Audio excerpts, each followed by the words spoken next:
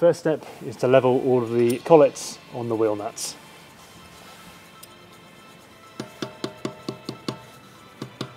Then position the collars on top of the collets.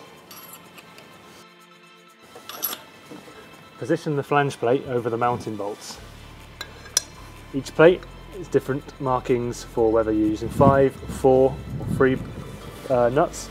In this case, we're using five.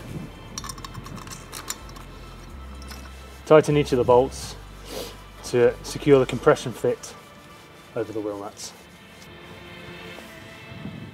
Mount the sensor on the mounting plate.